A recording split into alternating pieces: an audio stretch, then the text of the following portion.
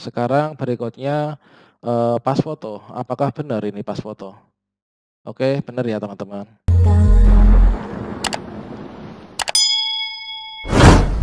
Assalamualaikum warahmatullahi wabarakatuh Sobat-sobat calon guru selamat datang di channel calon guru Sobat-sobatnya pada kesempatan ini kita akan bersama-sama yaitu melakukan upload uh, upload berkas untuk persyaratan P3K Guru tahun 2021 Nah sebelumnya teman-teman kita harus persiapkan berkas apa saja yang harus kita upload Supaya nanti tidak terjadi salah upload ya jadi di sini kita harus persiapkan dulu untuk file-file kita yang mau diupload.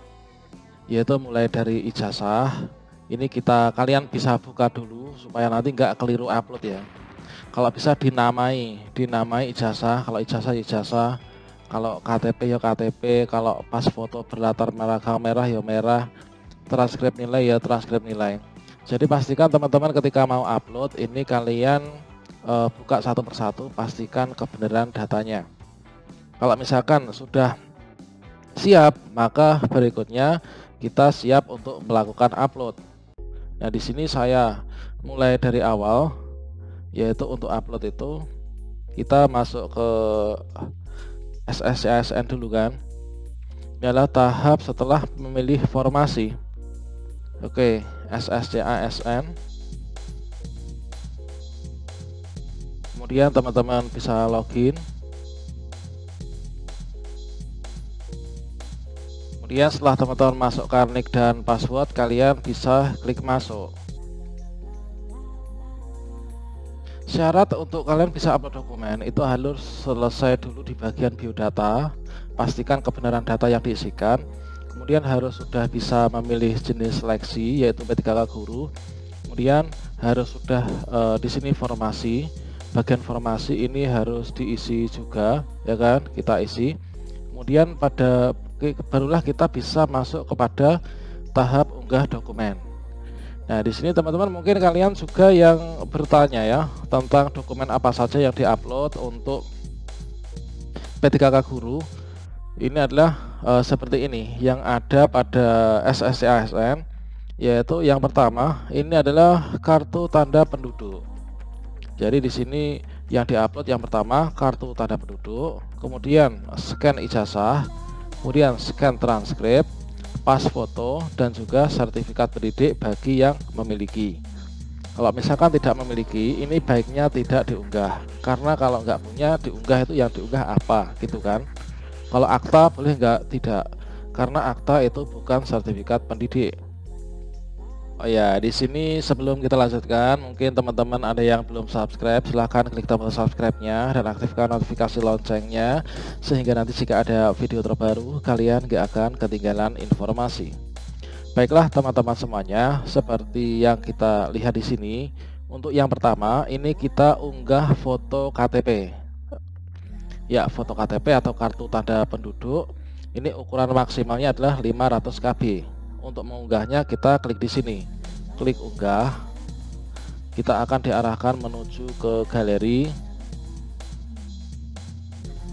Nah, di sini sudah disendirikan untuk yang akan diunggah. Nah, ini adalah yang diunggah pertama, ini adalah file KTP. Berarti yang ini, ya kan? Pastikan kebenaran untuk KTP yang akan diunggah. Untuk formatnya ini adalah JPG atau JPEG nah ini batas maksimalnya tadi adalah seperti itu. Kemudian kalian klik open. Maka otomatis di sini akan terunggah ya di sini. Nah seperti ini. Oke kalau misalkan sudah seperti ini sudah ada tombol lihat ini maka teman-teman sudah berhasil unggah. Di sini ada tulisan sudah diunggah yang kedua, ini adalah scan ijazah asli sesuai dengan persyaratan. Ini wajib ya, kita unggah scan ijazah. Klik di sini, unggah. Kita pilih ijazah. Jangan sampai kebalik, ijazah kasih transkrip, transkrip kasih ijazah. Kita pilih ijazah, kemudian kita open. Maka akan diupload di sini. Kalau ukurannya lebih dari 1000 KB, ini nanti tidak akan bisa diproses di sini sistem tidak akan bisa menerima. Oke 96% menyimpan dokumen. Oke sudah diunggah ya. Berikutnya kita uh, transkrip nilai. Transkrip nilai ini kita unggah ya. Transkrip nilai. Nah di sini kita unggah klik di sini. Sekarang kita pilih transkrip. Kemudian kita open otomatis di sini sistem akan berjalan kita tunggu sampai 100%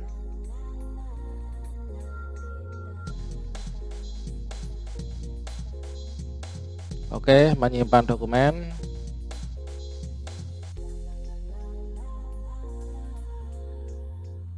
Ya, sudah diunggah. Berikutnya pas foto berlatar belakang merah. Kita klik unggah di sini.